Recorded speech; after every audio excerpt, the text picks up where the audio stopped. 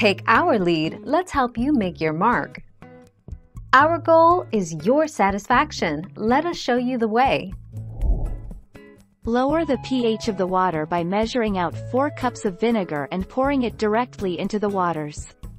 You can use either white household vinegar or apple cider vinegar. To lower the pH, the most common liquid acid used is muriatic acid, also known as hydrochloric acid.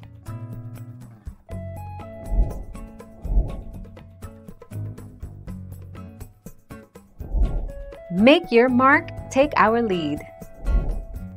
There are a couple of ways you can lower pH in water. If you're drinking a glass of water, add a few drops of lemon juice. The acidity will lower the pH naturally. You could also install an acid injection system to your water supply to lower the pH of your drinking water.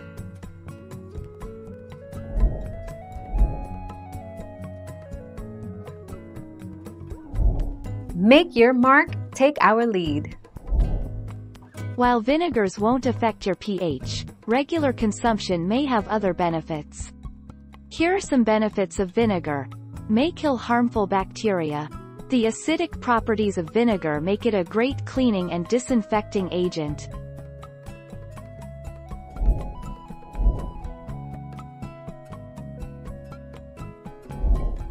Take our lead.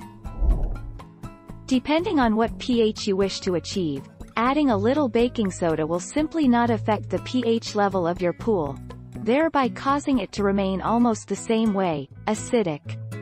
However, adding too much baking soda might also raise the pH level of your pool to an undesired stage, alkaline. Thank you for watching. Please subscribe and hit the bell notification.